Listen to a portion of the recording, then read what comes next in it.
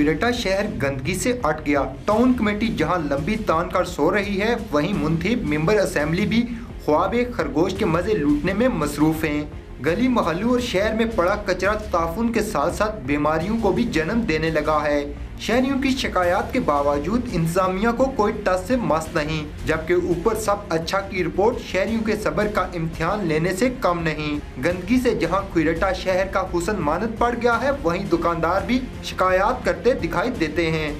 شہریوں نے منتخب ممبر اسمبلی راجہ نثار احمد خان سے مطالبہ کیا ہے کہ وہ انتظامیہ کے ہمراہ پیدل چل کر شہریوں کی مشکلات اور صفائی ستھرائی کا جائزہ لیں تاکہ گڈ گورننس کی مثالوں کو حقیقت مل سکے۔ کیمرامین کیسر محمود کے ساتھ امتیاز راجہ، عدالت نیوز کھوئرٹا